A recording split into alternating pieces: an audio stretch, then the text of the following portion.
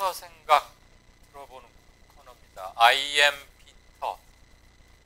안녕하세요.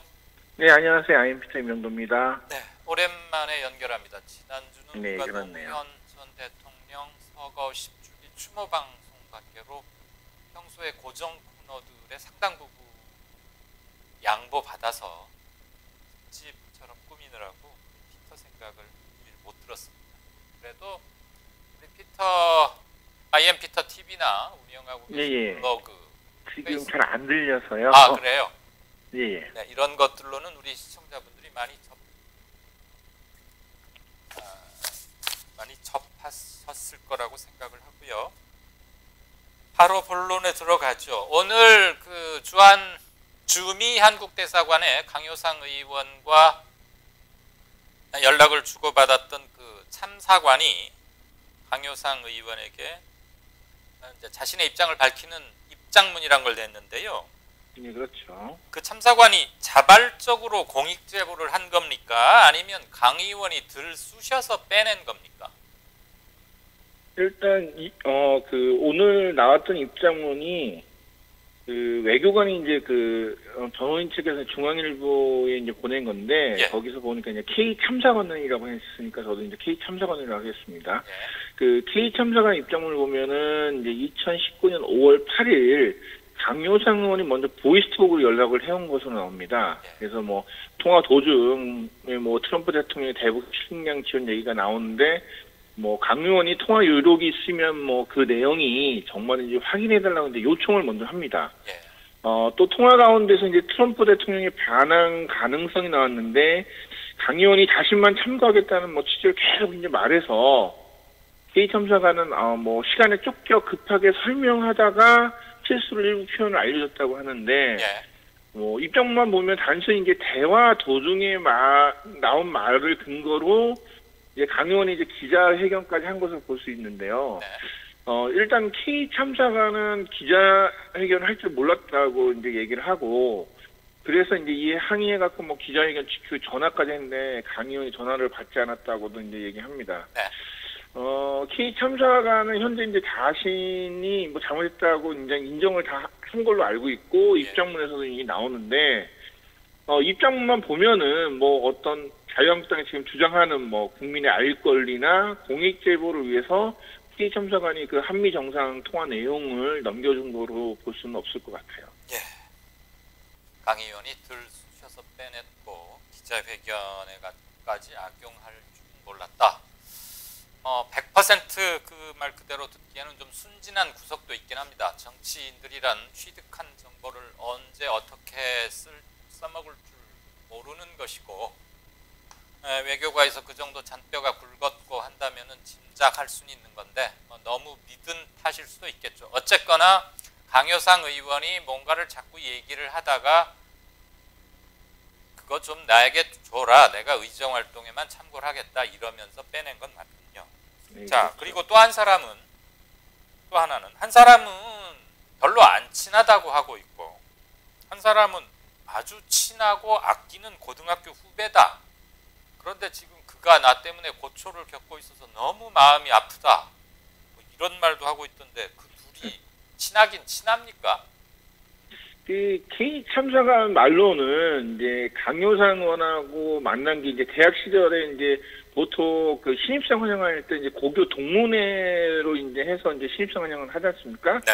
그때 이제 뭐 한두 차례 만나고 대학 졸업한 후에 이제 30년 동안 연락을 주고받은 일이 없다고 해요. 예. 근데 그래서 이제 실제로 강의원하고 만난 거는 2019년 2월, 그러니까 이 사태가 발생하기 3개월 전에 네. 이제 강 의원이 이제 국회 대표단으로 해서 방미했을 때 이때 이제 뭐 워싱턴 와서 이제 뭐 식사 한번 하고 뭐 전화 통화 몇 번 한 거다. 어 그런데 이제 이걸 가지고 강효상 의원이 뭐 친한 고교 후배 뭐 고초를 겪고 있어서 가슴이 미어진다. 이 정도 사이를 좀 친한 후배라고 보기는 어려울 것 같아요. 30년간 전화 한 번 안 했으면 별로 안 친한 거잖아요. 그렇죠. 이제 뭐 몇 개월 전에 만난 건데 네.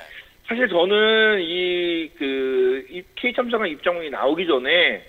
강효상 의원이 이제 조선일보 기자 출신 아닙니까? 네. 뭐 TV 편집국장도 하고 TV조선 어 본부장도 본부장도 했는데 이게 그 언론계에서 말하는 흔히 빨대, 그 정보원이 아닌가 이 두 사람의 관계가 예. 그래서 이제 어, 이 K 참사관이 강효상 의원한테 고의적으로 이제 줬는지 좀 의심을 했거든요. 네. 근데 K 참사관 임자분만 보면은 강 의원이 이제 2019년에 제가 볼 때는 우연하게 방미를 했다가 학연을 통해서 좀 만나갖고 좀 이걸 핑계로 해서 어떤 정보원을 만드는 과정이 아니었나. 사실 그 보통 공익 제보라고 하면은 어 그 사람의 어떤 제보를 어떤 방식으로 공개할 것인지 서로 합의를 하거나 물론이죠. 서로 이제 상 논의를 하거든요. 근데 이런 게 전혀 없기 때문에 저는 이 두 사람의 관계를 단순히 어떤 뭐 정보원의 관계 그 정도로 보, 보지 무슨 뭐 가슴이 아픈 정도의 친한 고교 후배와 이, 인간관계는 아닌 것 같아요. 강 의원이 본래 가슴이 잘 미어지나 봐요. 아, 노회찬 전 의원 얘기를 안 할 수가 없습니다. 왜냐하면 그가 의원직을 박탈당했던 이유가 떡값 받은 검사들 명단을 공개했다가 결국은 그런 횡액을 당한 거 아니었겠습니까? 예, 그렇죠. 그런데 노회찬 당시 의원이 공개했던 것은 우리 국민 공동체 전체의 공익을 위한 측면이 굉장히 강하죠. 그리고 검찰 개혁의 필요성을 강조하는 차원이었고 검찰과 경제계의 유착, 특히 삼성과의 유착 이런 것들을 폭로한 거였는데 이에 반해서 강효상 의원은 오히려 국익을 손상시킨 건 아니겠느냐. 그거 말고 그게 무슨 공익에 해당하느냐 이런 여론이 굉장히 높습니다. 일각에서는 당장 의원직 사퇴해야 한다 이런 말도 있고요. 피터 견해는 어떠십니까? 저는 당연하다고 봐요. 왜냐면은 실제로 외교문서 등은 이 정보 공개법에도 비공개 정보 대상에 속하는데 그래서 박근혜 정부 때 이 민변에서 그 저기 뭐야 그어 박근혜랑 아베 간의 전화 통화 내용을 공개해 달라고 했다가 이제 기각된 겨, 예, 비공개 결정이 나온 적이 있는데 예.